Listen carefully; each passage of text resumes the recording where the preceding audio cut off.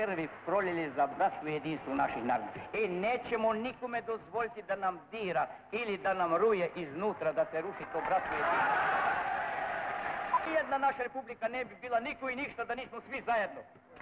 A mi moramo stvarati, a mi moramo stvarati svoju istoriju.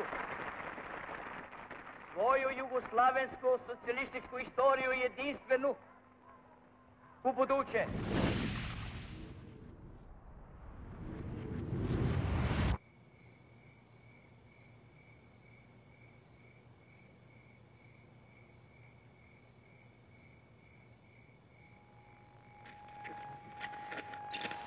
Dobro jutro, dragi slušalci. Ponovo je sa vama Rani glas Beograda. Danas je 4. maj 2000. godine. Slušate emisiju Da li se sećate? A naša današnja tema je Pokušajte da pogodite sami. Neka vas ova pesma podsjeti. Unime svih nas iz 50 i neke Za zakletvu ti tu ja spevao sam stih Ne spominjem prošlost ni bitke daleke Jer rođen sam tek posle njih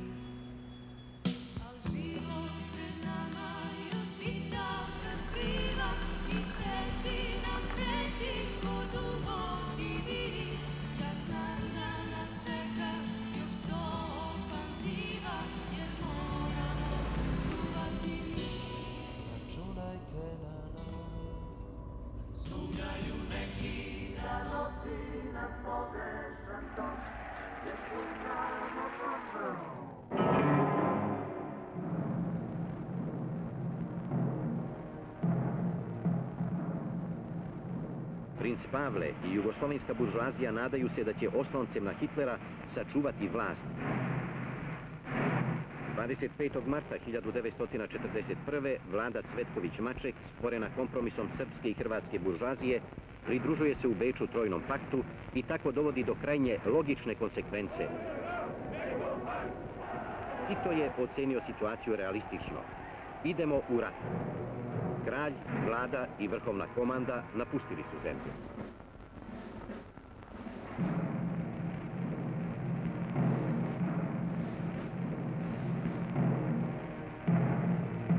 Nemački okupator ucenio je njegovu glavu sa 100.000 maraka u zlatu. Mussolini raspisao je za njim poternicu.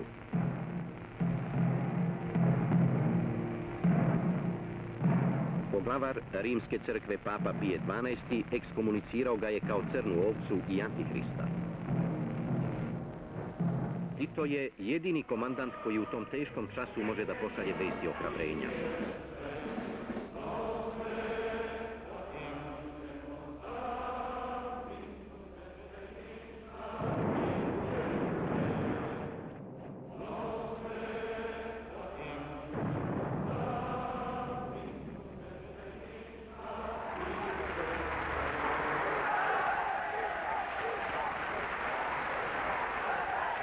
Zaklinjem se svojom čašću i čašću na radnog naroda Jugoslavije, da ću sve dužnosti predsjednika Republike izvršavati predano i verno, da ću se pridržavati Ustava i zakona i drugih odluka Narodne skupštine, da ću čuvati i braniti suverenitet i dostojanstvo Federativne Narodne Republike Jugoslavije i da ću sve svoje snage zalagati za daljni napredak i procvat slobodne i ravnopravne socijalističke zajednice naših naroda.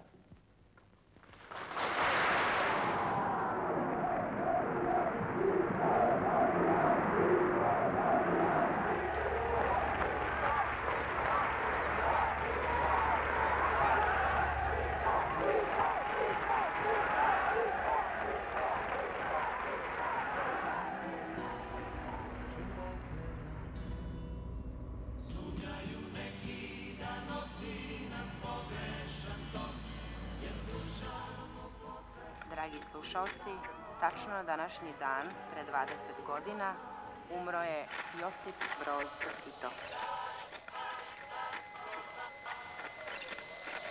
Umrl je tovariš Tito.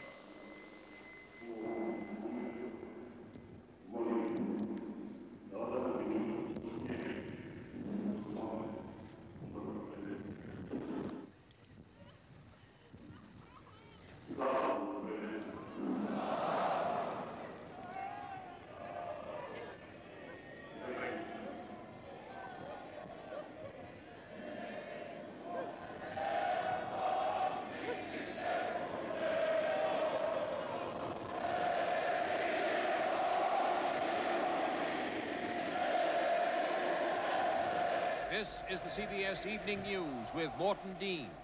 Good evening. Roosevelt, Stalin, Churchill, Chiang Kai shek, de Gaulle, Tito, the great Allied leaders of World War II, all gone now. The last of them, President Tito of Yugoslavia, died today. Jugoslawiens president Josef Tito avled ikväll. Er starb nach schwerer Krankheit und monatelangem Todeskampf heute Nachmittag im Alter von fast 88 Jahren. La notizia della morte di Tito circola da tre ore in tutto il mondo. 40 years of Yugoslav history was over. Der jugoslawische Staats- und Parteichef schwerer Krankheit und monatelangem Todeskampf heute nach drei Ore in tutto il mondo. Staats- und Parteichef Tito ist tot.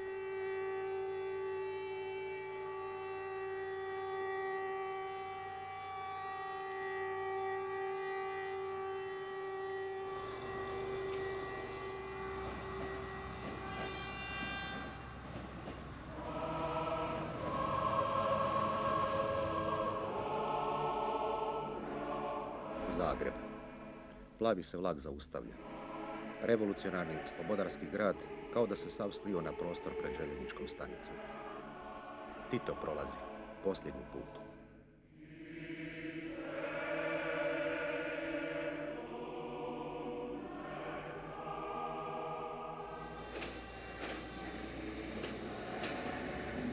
Meni je jedan put puklo, to nema, u, meni je puklo ovako da ja ne idem na sahranu. I sad dođem ja kući i uzmem violinu i, i krenem.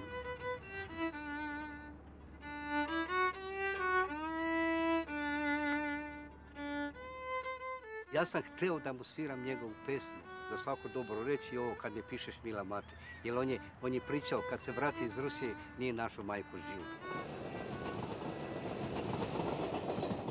Kad sam se vratio iz zarobljeništva 20. godine, ja nisam našao majke. To mi je bio najteži udarac u mom životu.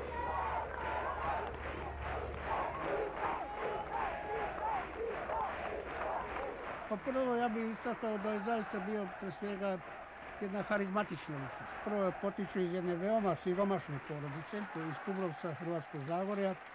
S obzirom na njihov e, veoma skroman, težak život, on je jedno vrijeme radio u Sisku kod jednog majstora, metalca. Međutim, već u mladnim godinama voleo je nešto lepše da radi. Tako da je poznat da je uglavnom sanjao da bude ili konobar ili krojač. Vidite, ja sam morao raditi od svoje šeste godine pa do danas. Ja sam prošao kroz sve faze jednog čovjeka koji ovaj, je prošao kroz sve teškoće i dva rata. V prvem sem bil vojnik, podoficir, a v drugem sem ja komandor. Jaz sem bil šest godina v zdravljeništvu, a prije sem bil v svetu, kao radnik, metalac, nisem bil kot kuč.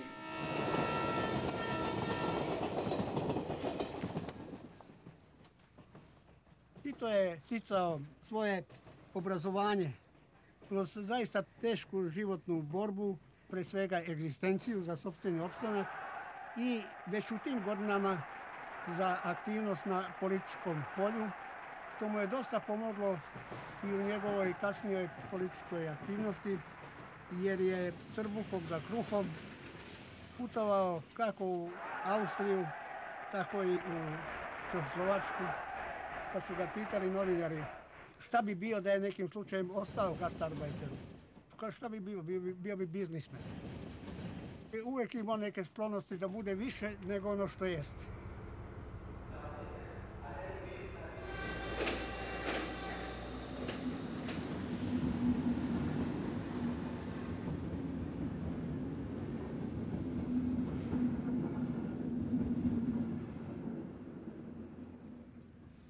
Vrijeme ste morali znati da imate i Boga i one pored njega, to su bili svi ovi rukovodioci.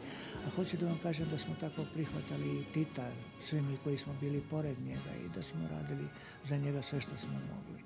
Kod Tita sam došao sa velikim strahom. Sad me uvijek pitaju kako te primio, šta je uradio, ovo ono. Nije on primao nas. Ja sam spadao u grupu radnih ljudi, kako sam ja sebe zvao. Ja sam inače po struci bio hemičar. Svrha je bila da se zaštiti zdravlje Tita, stranih državnika i niza rukovodilaca drugih. Znači, postojala je laboratorija za hemiju i toksikologiju, bakteriologiju i postojalo je biološko odeljenje za pokusne životinje. Znači, ni jedna namirnica koja bi došla tamo nije mogla otići da se detaljno ne pregleda. Naravno i posle svih tih analiza još smo uvek i na nama radili tu bioprobu Imali smo tih paketa poklona od tih ustaških službi iz Australije. Iz... Međutim, tu čim je nešto bilo jako komplikovano, onda se nisu radile dalje analize, nego ako mislimo da se radi o nekom namjernom aktu sabotaže i drugog, uništavano kompletno sve to, a davati predsjedniku izvještaj da je došlo odatle i odatle. Međutim, problem je vreme. Ako nemate dosta vremena, onda radite takozvane brze analize s kojima samo vidite da li je prisutan otrov ili ne. Ima dosta takvih situacija. Ima situacija recimo na putovanjima u inostranstvu gdje pored njihove kontrole, njihovi običaji, njihova higijena, njihovi uslovi života su sasvim drugi. Recimo vi kad ste u Egiptu, Iraku, tamo se ne pere ni jedna salata, ni jedna namirnica. Donesu sa njive, otrese onaj pesak i to odmah ide. Ide na pripremu, evo tako se posle služi. Ali imali smo posljedice u jednom Egiptu, Ceylonu, ne namjerno, nego slučajno. Njima nije ništa bilo, jer oni su navikli na tu floru, na sve to, a mi nismo.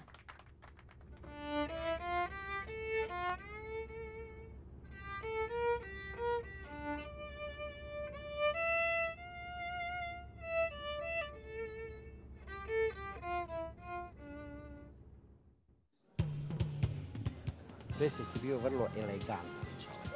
Tu eleganciju je imao urođen. Pre nego sutrašnji dan dođe, ja uveć u 7 sati dobijem od e, ličnog sekretara aktivnosti Titove za sutra dan. Ja postavim odelo, on sutra ujutru kad ustane to obuče.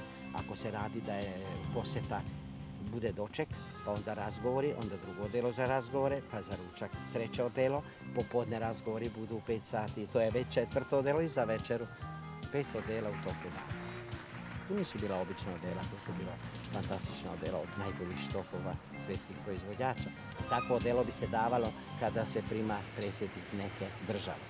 Dok kada su dolazili kraljevi, carevi, onda je predsjednik oblačio uniformu. Uniforme je najviše volio, on bi uzeo ovaj, uniformu još ujutru. Ja sam znao reći mu, druže predsjedniče, pa e, program počinje u 11 sati. A, ne smeta mi, kaže, dobro je i sad će. I kad bude 11 sati, ja donesem drugu uniformu, jer ona više uniforma stvarno nije za svečani čin. Da bi se pojavio već izgužvana, sedi sa svojim prijateljima, saborcima, popije kavu, čaj pre nego što počne svečanost.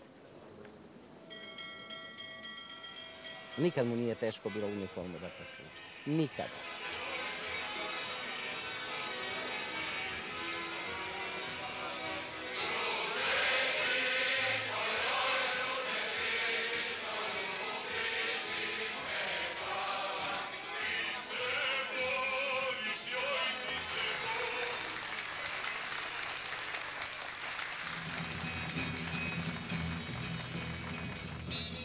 Beogradu kada god je bila, kad god je bila poseta, u toku dana ja prepodne moram završiti za njih sve što će trebati u toku dana i za popodne i onda idem u dvor i budem na raspolaganju glavnog gostu za njihove potrebe. Tako da sam za, mate ne za sve državnike sveta i kraljici Elizabeti sam radio i svi koji su dolazili u dvor. Tada su bile jako česte posete, znali su godišnje da budu po 12 do 14 poseta šefova država.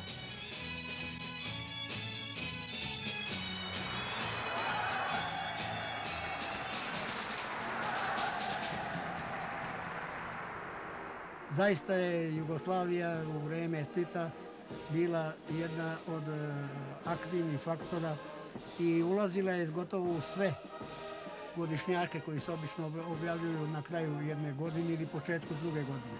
Koje su sve čuvene i slavne ličnosti e, dolazile ili koje je Tito, pominje njega posebno, ovaj, posjećivao.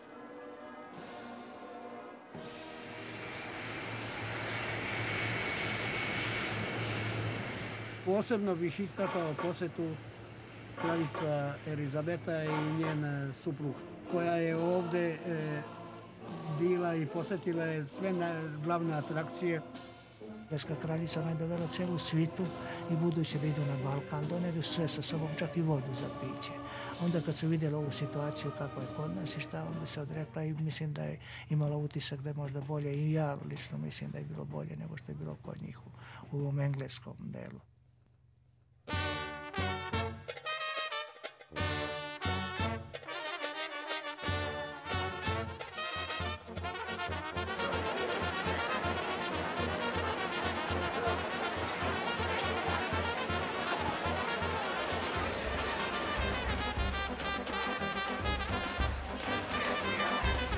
Dolazio Engleske kraljice, ja sam tamo bio određen da pripremam roštilj za kraljicu. E, za ove drugo isto sprema roštilj, ali mislim to su drugi pripremali, a ja sam specijalno za kraljicu za Tito spremao minijaturni ovako leskovački voz, mali voz. I onda kad su ovi došli sa u Puli, iz Pule na jahtu Podgorku, do Brione, tu ih je čekao maršal Tito i Jovanka. Onda je Tito u prati kraljice odvezu do kola, princ Filip, on sa Jovankom i tako seli. Sad ovi gledaju pa ko će da vozi. Kad Tito seo za volan, on vozi. Pored e, mora je bila kuhinja za priprema rošti i ražnjevi tamo. A u centru vinograda je bio podrum. A u podrumu je bila jedna sala i u toj sali je bilo prednja ručak za kraljicu. Pošto je to malo udaljeno, imali su ni mali automobilčići na noteri. I koje se kako ispeče prva tura, konobar sedne, ovaj ga vozi do podruma. To podeli. Dok sam vratio, oni pojeli, a ja već ispekao drugo. Kažem, jeli su, jeli, toliko su bili zadovoljni da, da uopšte ne, ne možete pojmiti to njihovo zadovoljstvo koliko je bilo. I to se kraljici toliko dopalo da onda izrazila želju prilikom povratka da bi voljela da, se to pripremi. Dok je bila večera, onda smo mi uveče svirali. Onaj prvi dio je bilo lepo, ovako ozbiljno, znate, muzika, ozbiljna himne, zdravice. Kad se završio prijem, onda je Tito volio da onda smo bili slobodni, da sednemo i da onda sviramo. Neki smo ostali, ako se završila večera u jedan, do četiri, do pet ujutro. Mi smo svirali sve naše stvari. Ona se veselila. To je tako bilo jako, vrlo spontano.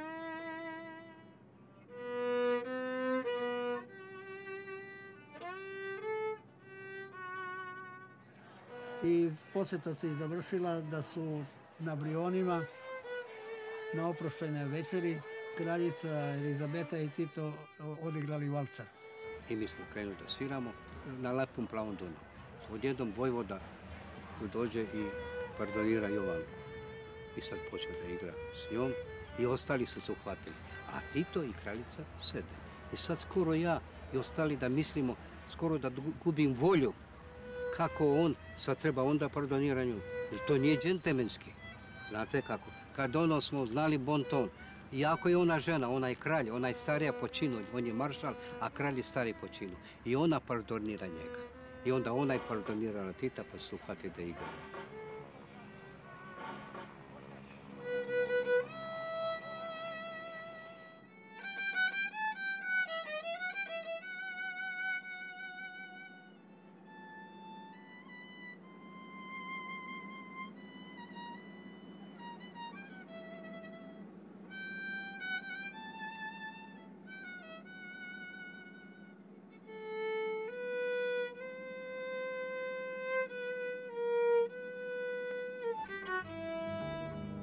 Sva britanska štampa objavila je na prvim stranicama fotografije našeg predsjednika i opširne izvještaje o boravku maršala Tita u Londonu. Tito ostavlja utisak, umeo da se ponaša, umeo da vlada i sobom i situacijom. What is the outstanding impression that you will carry back with you from Britain to Yugoslavia? Moja glavna impresija će biti kad se ja vratim u Jugoslaviju, to što sam vidio da sam svugdje gdje sam god bio naišao na nedjeljive simpatije engleskog naroda prema meni, a to znači prema narodima Jugoslavije. U Londonu to su njihovi protokoli malo čudni i onda ruča isključivo ona i predsjednik, a svi drugi su pomereni u druge sale. Ona je bila toliko oduševljena sa predsjednikom da ga je ispratila, što nije običaj njihov kraljevski, i kad se opraštala sa njim, onda se okrenula, kaže gospoda, ako je ovo mehaničar, onda ja nisam engleska kraljica.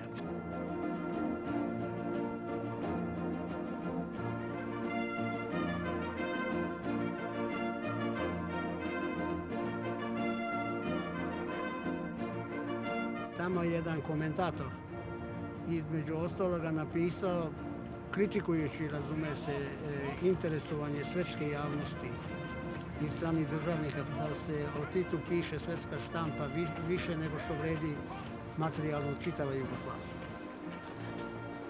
Bilo je masa ličnosti sa kojima se susretao, državnici, negdje 61. sa Kennedyjem. To je bio jedan veliki doživljaj, prijem u Washingtonu. Very welcome. We're very glad to have you here at the White House. And I hope as a result of your visit that the relations between our two people will become stronger and that our commitments to national independence will be strengthened. So, Mr. President, we're very glad to welcome you and your distinguished wife, the members of your government, here to the White House.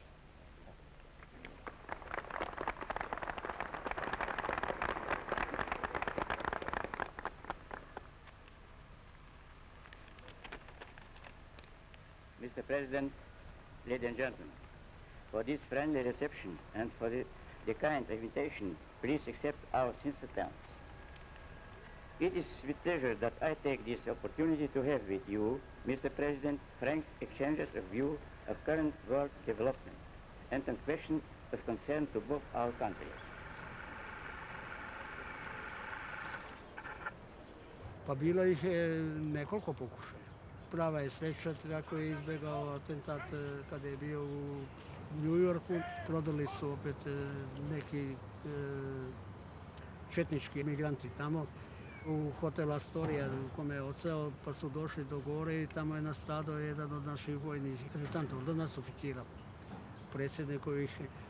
A u New Yorku na opet jednoj drugoj, drugoj jednoj priredbi, to je pokušaj četničkog vojvode Jevđevića koji je došao sa svojom grupom i oni su demonstrirali, piketirali protiv Tita sa četničkom zastavom kako je bio jedan od naših brodova u Njujorskoj luci. E, naši mornari sa broda su napustili brod, došli kamionima i rasturili su tu Jevđeviću bandu. Interesantna je stvar da u vreme rezolucije IBA, da je u to vreme Stalin e, slao neke e, podmornice da na brionima Tita kao žaba čovjek i to je sprečeno. Alors, monsieur le président... E pa, gospodine predsjedniče, koja je odluka bila najteža? Koja je najvažnija odluka koju ste doneli? To je teško reći uvijek. Šta je najteže po jednom dugotrajnom procesu djelatnosti čovjeka koji na raznim poljima je imao aktivnosti. Dakle, tu sada ima čitavi niz takih koji su bili najteži. Teško sad kazati koji je bio najteži. Bilo je najteže, recimo, ovaj, u ratu. Kad je trebalo donositi odluku, a u ratu je bilo više takvih slučajeva. Naprimjer, pitanje strategije i taktika. Kad je trebalo donesti odluku da li iti u ovom pravcu ili u ovom pravcu i tako dalje. Ima političkih teškoća. Naprimjer, 1948. godine kad je Stalin E, sa Stalinom smo se ovaj sukubili. Bilo najteže donesti odluku da kažemo ne. Istina je da je to u najmanju ruku nelojalno, neobjektivno ponašanje prema našoj partiji i našoj zemlji. To je rezultat strašne zablude. Sada se sve to razbuktalo do čudovišnih razmera da bi se na taj način uništio ugled naše partije i njenog rukovodstva. Da bi se na taj način skinula slava sa naroda Jugoslavije u njihovoj herojskoj borbi da bi se na taj način pogazilo sve ono veliko što su naši narodi postigli ogromnim žrtvama i potocima krvi, da bi se na taj način razbilo jedinstvo naše partije koje predstavlja garanciju uspješne izgledne socijalizma našoj zemlji i ostvarenje sresnih života naših naroda. Tito je velika ličnost svog vremena. Najviše posjeta smo imali azijsko-afričkih zemalja, tih zemalja nesvrstanih, Okupljeni na ovoj konferenciji mi smo svjesni da preuzimamo na sebe veliku odgovornost pred miroljubivim svijetom koji se s pravom nada da ćemo mi ovdje učiniti sve kako bi se uklonila opasnost koja ljebi na čovečanstvo. Prema tome smatram da ćemo mi učiniti veliku uslugu svijetu ako jasno i odlučno ukažemo na put koji vodi ka smirivanju u svijetu, ka slobodi i ravnopravnosti i miroljubivi saradnik svih naroda. Pa sigurno da je Tito bio inicijator. S obzirom da je prvi trojni sastanak i bio na, na Brionima, Tito je održao taj pokret nesvrstanih sve do, do, do kraja svoga života.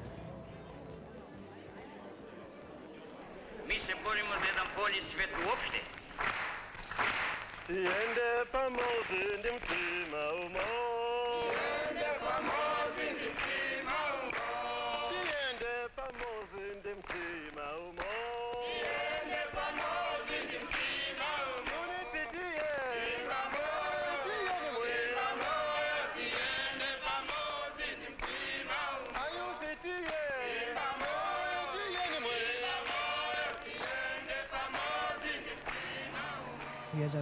Ovako prvih državnika koji je posjetio predsjednika je bio je Selasije.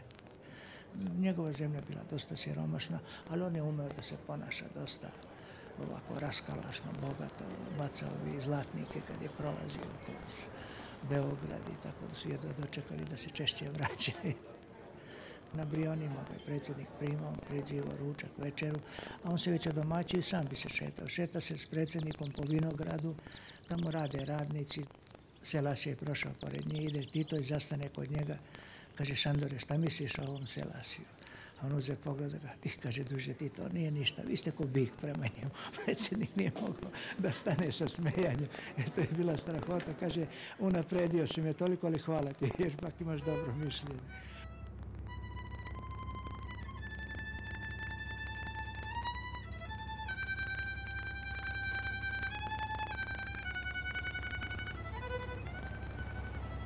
Mi kad smo krenuli na put, onda komandant Mornarice samo je došao i kaže ovako, srećan put, svaki od vas predstavlja Jugoslaviju.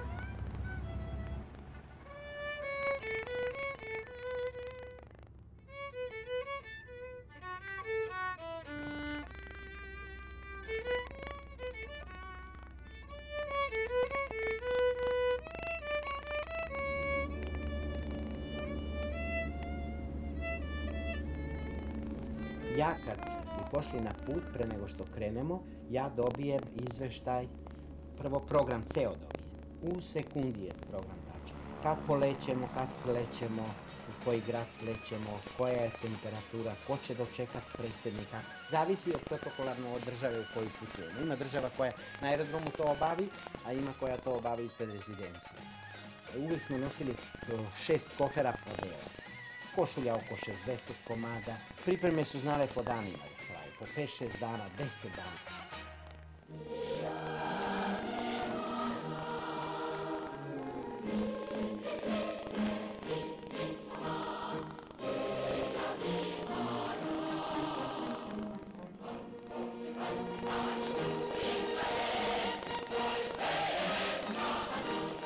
Na putovanjima kad ste u zemlji i inostranstvu postojala velika jedna razlika. Ako ste u zemlji, onda je predsjednik često puta menjao rutu, da recimo krene za Kruševac pa da nagovore da ode za Niš i tako dalje. U tim slučajevima mi smo stalno, naša služba, specijalna laboratorija i predsjednikovi lekari, mi smo određivali jelovnik i niko nije mogao da menja, čak ni predsjednik nije menjao taj jelovnik.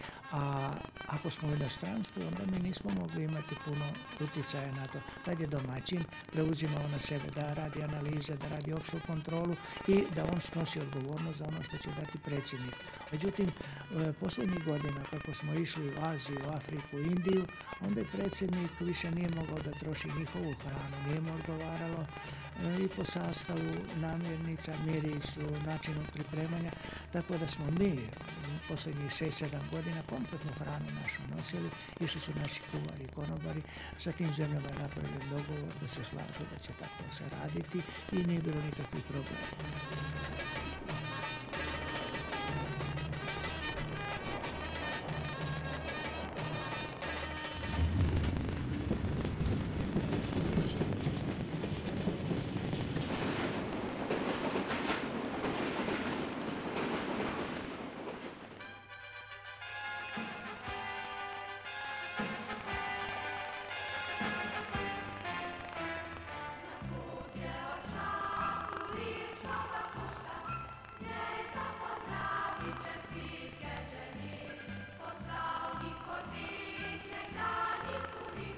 25. maj je popularno proslavljen kao dan mladosti.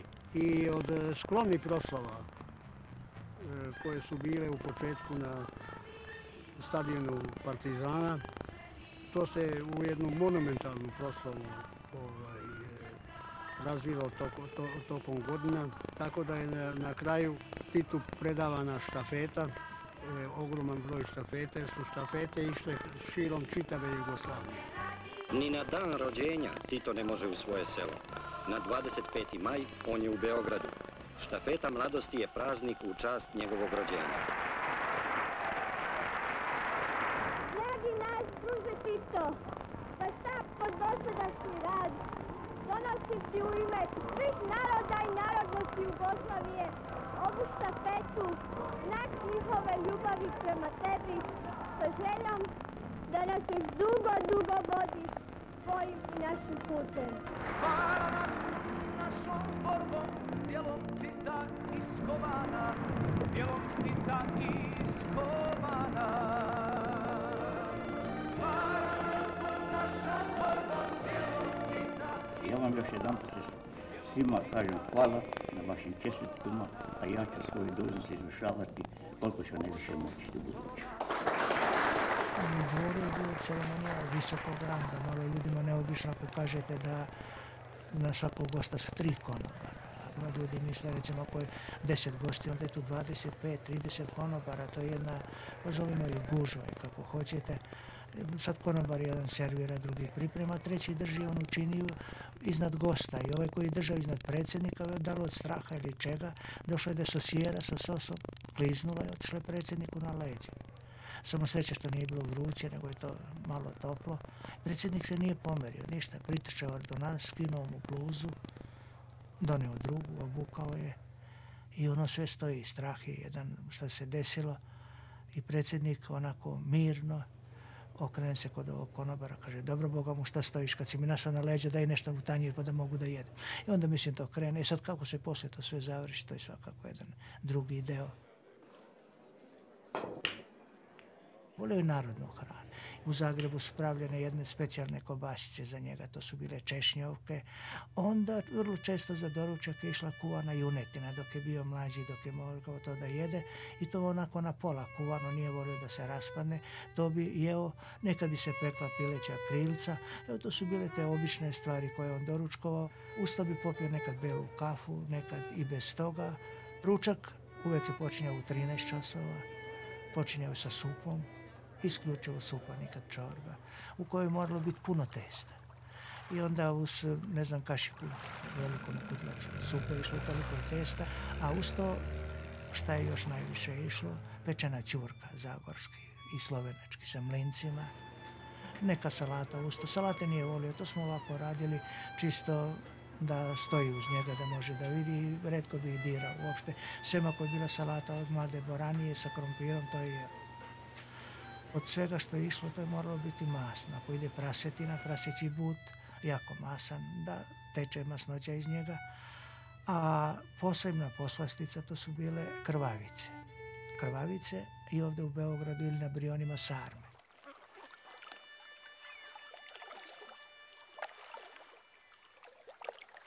Volio je sve kao i svaki čovjek. Volio je lepo da se obuče, volio je lepo da pojede. Međutim, u poznim godinama lekari su mu počeli zabranjivati ovo i ono. I onda se je događala situacija, na primjer, bude e, svečana večera u dvoru i njegov konobar koji ga služi dođe sa prolazi sa platom na kojima bude meso, pečenje ili bude, ili bude kovasica. Predsjednik bi hteo da uzme, konobar ga upozorava, druže predsjedniče, ne smete vi to. A ko je rekao, kaže da ne smije, ali uzme on. Predsjednik je e, bio na masaži po trbuški u prostoriji na krevetu, ova masira i on je pevao druže Tito, bijela lica, nema više kobasica. To je tad baš kad su mu strogo zabranili, više stvarno ih i nije jeo. I ova dolazi i mene zove, dođi molim te da čuješ, dođi, kaže šta peva. E, on pevao neprekidno stalno tu istu pesmu, druže Tito, bijela lica, nema više kobasica i tako dalje.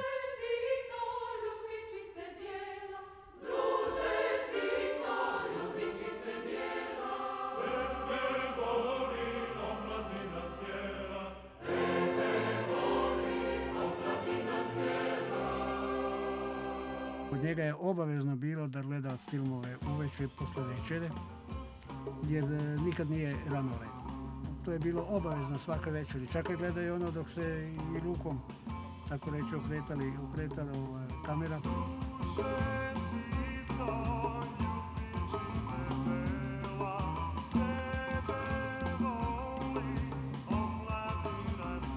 Najviše je volio kaubojske filmove da gleda, gledao je i ove revolucionarne. Ne samo dogodoštine filmske novosti su se isto davale. Susretao se sa svim glumcima, sa ja ne znam ovako, ja vrlo često i u knjizi mojoj govorim možda najviše o Sofiji Loren, stvarno bila šarmantna, izuzetno lepa žena, dolazila često sa Karlom Pontijem, sa predsjednikom bi boravila po ceo dan skoro, ona je spremala i svoj deo kuhinje, a bila oduševljena i sa našom kuhinjom, učila je to, radila. Nama jedino smetalo kad je u sve stavljala, čak ako sprema i neku pitu sa, za kolače i tu je stavljala maslinke. To ne odgovara našem ukusu. Ispričao mi je da je prilikom jednog intervjua, da bi izbjegao pomalo neprijatan odgovor na pitanje prema kojoj italijanskoj političkoj ličnosti gaji najviše simpatija, odgovorio prema Gini Lollobrigidi. Alla domanda quale personalità politica italiana aveva simpatia, lui ha risposto Gina Lollobrigida. Od niza glumica još koje je predsjednik primao, to je bio Richard Barton i supruga njegova Elizabeta. On je snimao na Sutjesci, ona bi boravila ili na Brionima ili dole u Dubrovniku, u Kuparima.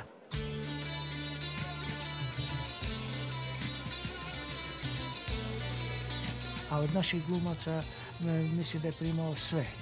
Naravno kad se snimali, snimali se ti filmovi Sutjeska, Neretva, onda kad bi se to završilo, bio bi sa njima, priredi se prijem, a Tito je volio i da bude u Puli kad su bili ovi festivali, tako da bi sa tim umetnicima to sve zajedno proslavio.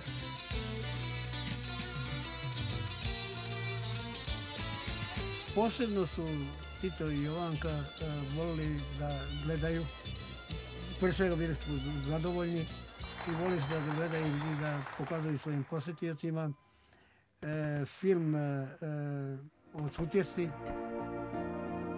Sve ljepote naših snova. U bitkama slavnih dana. Stvarana su našom borbom Djelom Tita Jedino je holandska kraljica stavila bila primjedbu što se tiče toga filma, ne što se tiče njihove glume, nego oni delovi koji pokazuju borbe na sutjesti rušenju onoga mosta na Neretvi i sukob između e, partizana i četnika. Tako da je reagovala, a vi ste se više između sebe tukli nego protiv neprijatelja.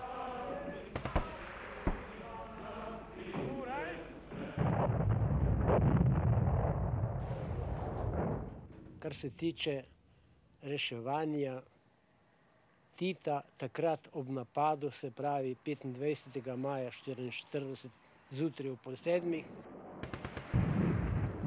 Dan pred napadom oziroma zvečer smo dobili nalog, naj gremo na železniško postajo Drvaljo v kino, ker se predvaja neki sovjetski film, kamor bo prišel tudi Tito. No in to je bilo pravzaprav moje prvo sreče, da sem v živo videl Tita. Po predstavi smo se vrnili v to hišo in dočakali to jutro 25. maj. Zaslišim strašne, strašno grmenje, avione, to je bilo se v dimu, v ognju, to grmenje, to je bilo mitraljiranje. Skratka, avionov gor je bilo kot muho, kot muholovca. Bili smo v strašnem strahu, kaj bo s Titom. In tam pride general Rankovič, pa pravi, drugovi Slovenci, uapsiće staroga brzo gore nad pećinom da ga spasimo. Jesko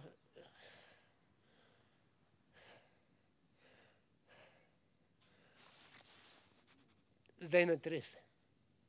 Kako Tita ujet takrat? Kako preprečiti, da ga ne bi? Mulc, mlad, no, sem bil že star 19 let, ampak kaj bi mi lahko storili? Je pa res, da municije dosti nismo imeli. Ta Rankovič je rekel, drugo mi je rekel, jedan metak za tri. Samo da spasimo staroga. In mi smo plezali gori v hrib. Kako smo mi to šli, ne vem. Jaz sem tudi po vojni tam bil, pa sem preplezel do polovice, pa sem šel nazaj, ker je strmina. Ko smo prišli tik nad pečino, tam je bil eh, en kos ravnine, niti enega stražarja, niti enega partizana. Pol pa zdaj gledam v šapki Tito. Streslo me je. Pa je rekel tako, spomnim se, ako su švabi ikada pobedili vazdušnim desantom, ovoga puta u Drvaru nisu.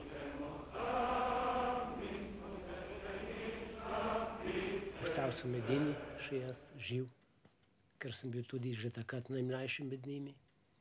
In tudi njim, ki smo dosti krat se sestali po vojni, govorili o tem, kako in kaj je bilo.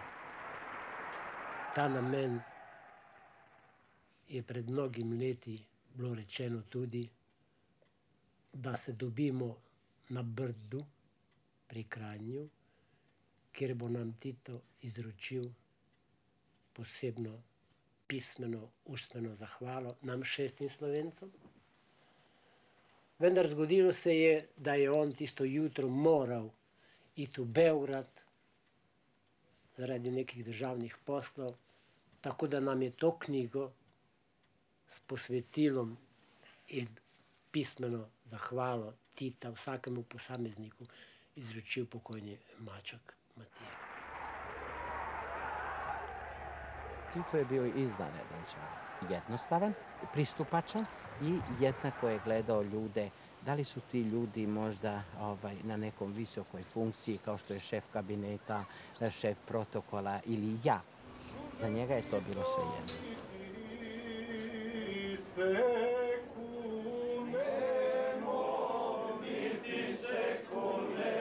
Ima je i taj običaj da se prošeta ulicama, tu se naročito bezbednost znate, uzbuđivala, jer to nije bilo namešteno. Samo povede svoga adjutanta, šofera, pa ode tamo prema Avali ili ode gore prema Vojvodini, razgovara sa građanima ili seljacima koji su na terenu, obrađuju zemlju ili oru zemlju i tako dalje. Tako da kažem, ovaj, u tom pogledu je zaista držao jedan živ kontakt i to je terao do kraja. Predsjednik Tito je voleo jako lepo da se obuče. I to ljudi su vidjeli da je stvarno bio jedan od naj, najobučenijih predsjednika.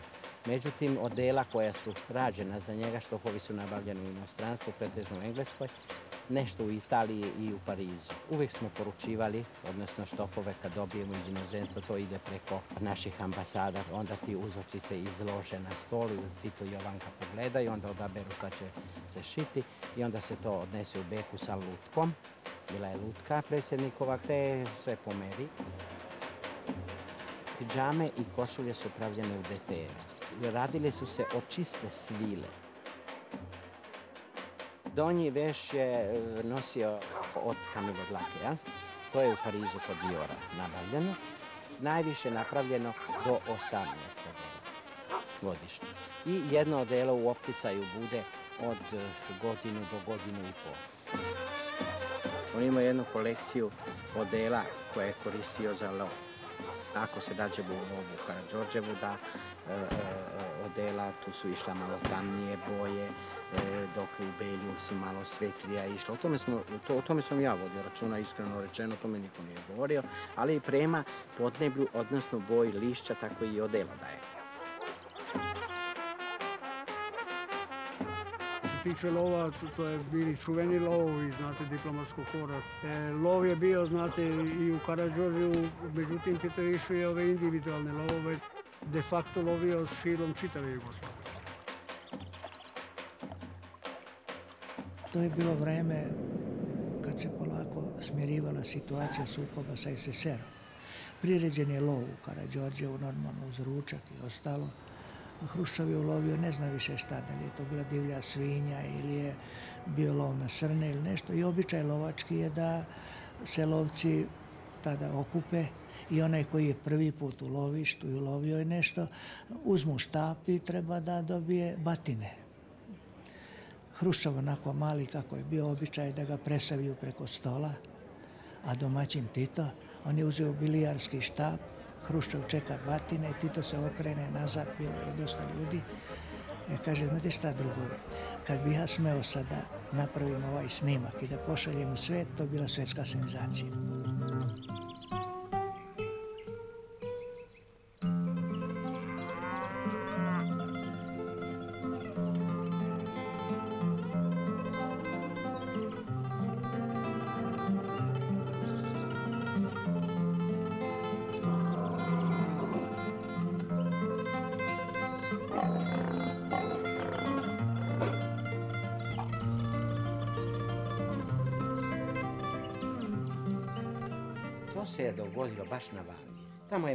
Kuća, vrlo lepa.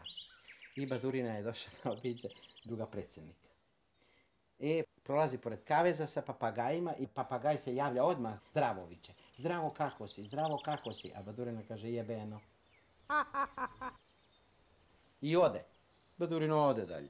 Došao je kod predsjednika, koliko se je zadržao ne znam, i vraća se Badurina i predsjednik sa Badurinom ide. I prolazi pored papagaja i sad predsjednik, valjda da pokaže Badurini kako ovaj zna da priča, kaže kako si pita on papagaja, papagaj kaže jebeno.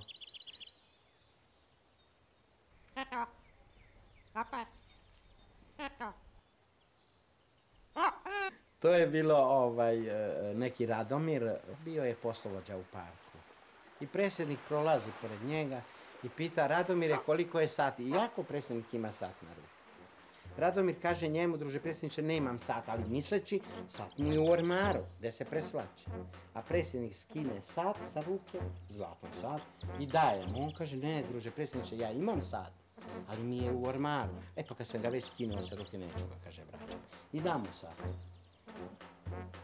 Bio je jako osjetljiv ako mu se nešto ne, ne, ne postupi po njegovoj, po njegovoj odluci.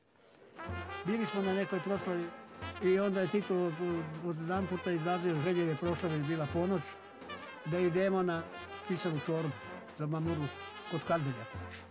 S obzirom da je on malo zadremao, jer ovaj, dosta je popio bio na tri šešira, ovaj, mi se odlučimo i odvedemo ga pravo kući. I on moli vas sutra dan ujutro. Zove ordonans oficir, odnosno Rapović stigao, da dođem hitno. I on poziva na odgovornost mene i generala Rapu kako smo smeli mi da njegovu odluku izmenimo. Pun energije, pun života, tako da je to gurao sve dok je mogu.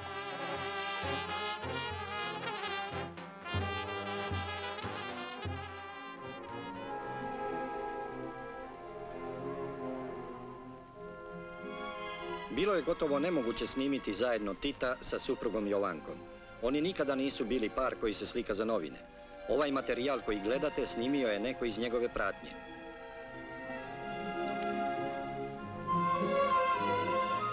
Kad sam došao na posao, Tito i Jovanka su već bili u braku, negdje od 52. godine. Njih dvoje su se venčali dosta tajno u Iloku, ovdje kod Vukovara. Kumovi su bili Ranković i Steva Krajačić. To je bio, kažu, dosta skladan brak. Jovanka, kao i masa supruga, u kući uvijek hoće da i one imaju svoju reč, deo, da utiču. E sad, ako to ne remeti deo politike, ako ne remeti deo državnih odnosa, onda je to u redu, ali kad to već ide dotle da remeti deo rukovođenja, idenja, onda je problem. Kad smo putovali za Kinu, trebao je određena je pratnja, gdje i Dolanc, Ljubičić i drugi rukovodioci da prate predsjednika, objavljeno je u svetu. Jovanka se uveče javlja, ako oni idu, ja neću da idem. To je više nemoguće izmeniti. I nije išla. Nije išla u Kinu. Kad smo se vraćali iz Kine, predsjednik je bio strahovito razočaran. U tom trenu e, da je došlo do izražaja stvarno jedna velika želja da vidi Jovanku, da bude sa njim, da ga sačeka kad se vratimo iz Kine. Ona to nije prihvatila jer ona je otišla u drugu jednu susjednu zgradu, kuću cveća u Užičkoj, a predsjednik je bio u glavnoj rezidenciji. Tako je išlo jedan dan, drugi, treći, nije uopšte došla. Tad su bili rukovodioc uz predsjednika Dolanc, Bere Badurina, koji je bio sekretar, admiral Vilović. I doneli su odluku da tako ne ide više, budući da ona nije dolazila do njega, on je sam, nastali su problemi i predsjednik se preselio u Beli dvor. Ja mislim da je svaki dan zvao Jovanku. Službe bezbednosti drugo nisu dale tu vezu. Posle par minuta bi došli i rekli, duže predsjedniče Jovanka neće da uzme vezu. Ista je situacija bila i sa Jovankom. Ona je jedno vreme mogla da menja što šta da vodi, da smeni te rukovodioce. Međutim, osjetili su sad jednu mogućnost, a i potrebu da više nemaju kontakt. Jer ako bi ona imala kontakt sa njim, onda bi opet nastalo isto. Oni bi svi bili smenjeni, otišli. I to je bilo negdje 76. ili 77. I nikad više se njih dvoje nisu susreli.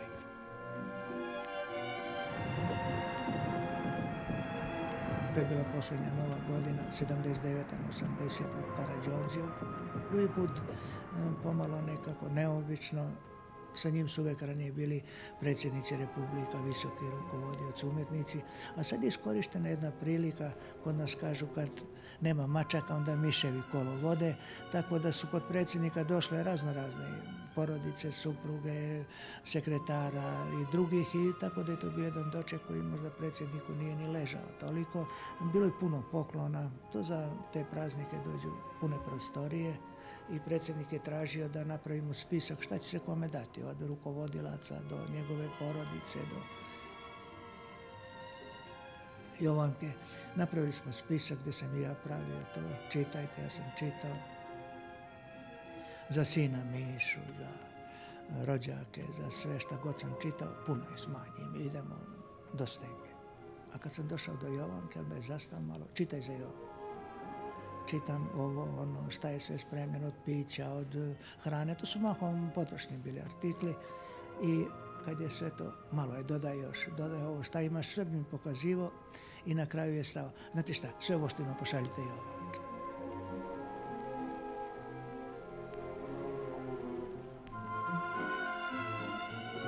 To je bila posljednja večer i dosta se loše osjećao, već nije mogao da hoda, išao sa štapom. Ujutro se dvoumilo da li ići u bolnicu u Beograd ili Ljubljanu. Onda je odlučeno ipak da se ide u Ljubljanu. Jovanka nije došla. Ona je bila tu, zovimo to jednim delom blokade ili kako hoćete. Znači bila je u Užičkoj rezidenciji, zvala je stalno telefonu. Međutim, iskorištena je prilika od rukovodstva. Nisu im dali više kontakt i predsjednik je u Ljubljani umro da nije imao nikakav kontakt sa njom.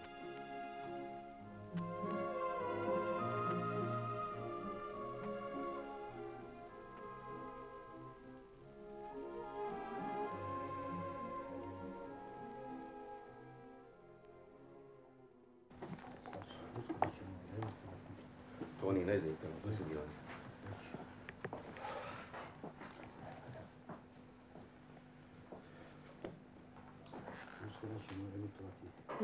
Ste spremni da javimo režnje.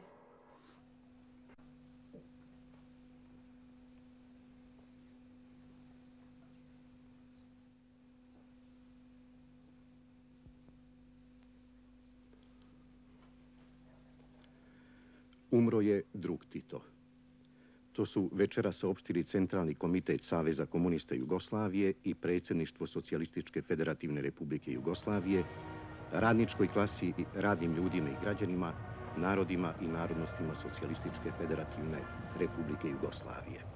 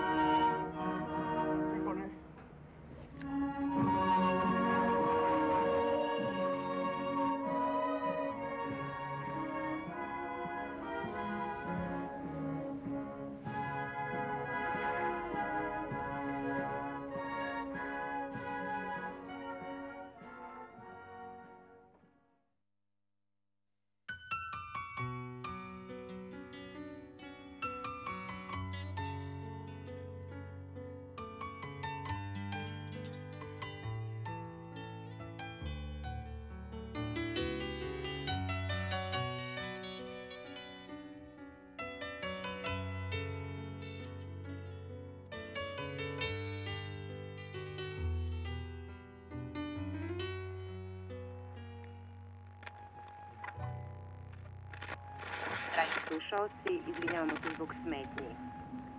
Naravno, imali bi još puno toga da kažemo, ali naša emisija se polako bliži kraju. Pre nego što nastavimo sa sadašnjim događajima naše nove Jugoslavije, evo jedne pesme samo za vas, za sve vas koji se sećate starih vremena. Želim vam prijatan dan. Godine su prošle pune muka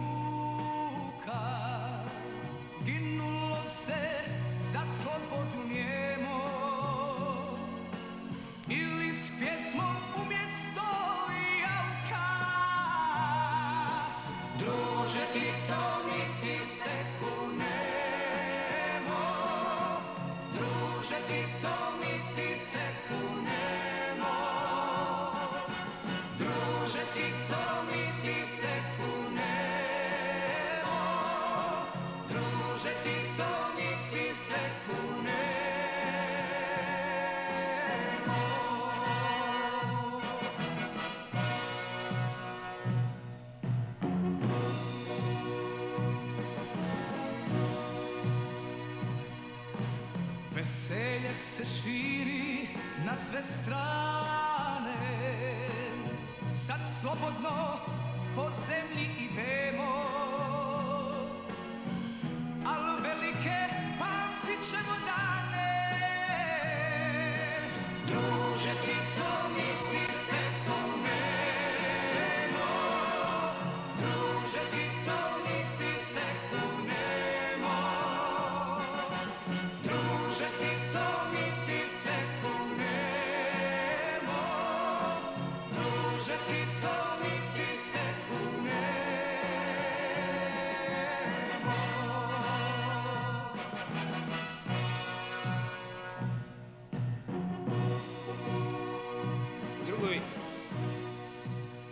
pogledamo na današnju Jugoslaviju, ona više nije ono što je bila. To je sasma drugčiji oblik, sasma drugčije lice. I standard je daleko otišao. Drugovi, drugarice i drugovi, ja ne bih htio tu da duljim jer e, mno- mnogo bi se moglo to govoriti, dajte vi govorite o tome. A mi ćemo vas slušati i vi nas onda prisilite da mi to izvršimo. S time bi ja završio.